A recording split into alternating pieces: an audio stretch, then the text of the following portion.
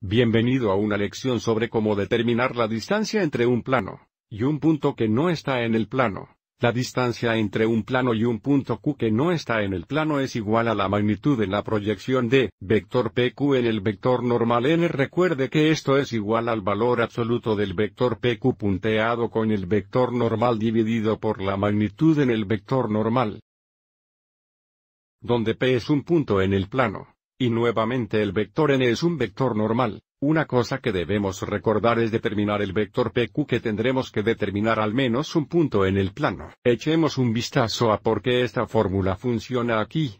Tenemos un plano en azul y el vector gris aquí es nuestro vector normal. El punto P es un punto en el plano y el punto Q es el punto que no está en el plano que queremos determinar la distancia desde el punto Q al plano o esta distancia aquí que he etiquetado de. Recuerde cuando hablamos de proyecciones de vectores si proyectamos el vector PQ en el vector normal tendrá este vector aquí la magnitud o longitud de. Esta proyección será la misma que la distancia de o la distancia desde el punto Q al plano. Así que echemos un vistazo a un ejemplo de cómo podemos aplicar esta fórmula. Aquí se determinó la distancia entre el plano dado, y este punto 7 negativos 39 que no está en el plano. Entonces necesitamos encontrar la forma componente del vector normal así como el vector de forma componente PQ donde P es un punto en el plano y Q es el punto dado. Comencemos con el vector normal.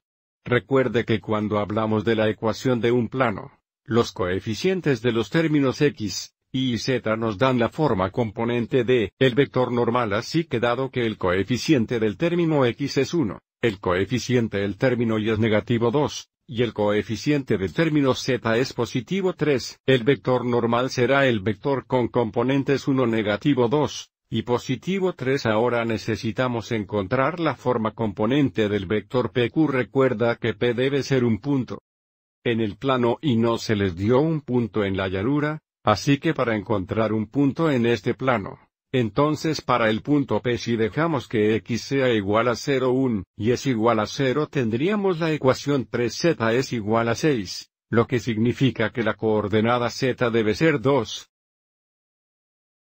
Así que usamos este punto como el punto en el plano. Por supuesto, podríamos usar cualquier punto, pero este es conveniente y luego el punto Q será el punto dado 7 negativo 3 9. Así que ahora necesitamos determinar la forma componente del vector PQ. Eso será 7 menos 0 negativo 3 menos 0 y 9 menos 2.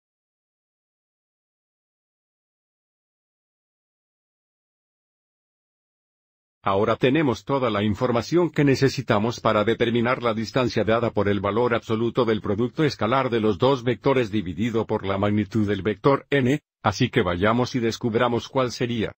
Así que vamos a encontrar el valor absoluto del vector pq punteado con el vector n. Así que tendremos una vez 7 que serán 7 más negativo 2 veces negativo 3 que es 6 más 3 veces 7 que es 21.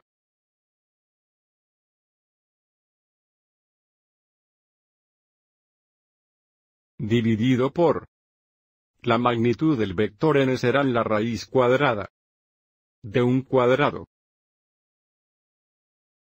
más negativo 2 al cuadrado más 3 cuadrados. Entonces el numerador será positivo 34. El nominador será la raíz cuadrada de 1 más 4 más 9, que es una raíz cuadrada de 14.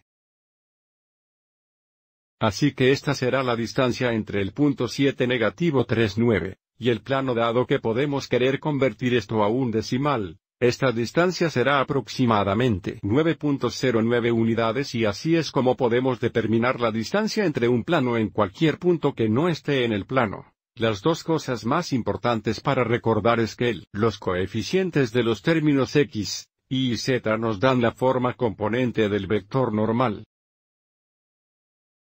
Y en segundo lugar, tenemos que determinar un punto en el plano por nuestra cuenta y, por lo general, es muy conveniente dejar que x, e, y sean iguales a cero y luego determinar qué debería ser z para satisfacer la ecuación dada en el plano. Espero que les haya sido útil.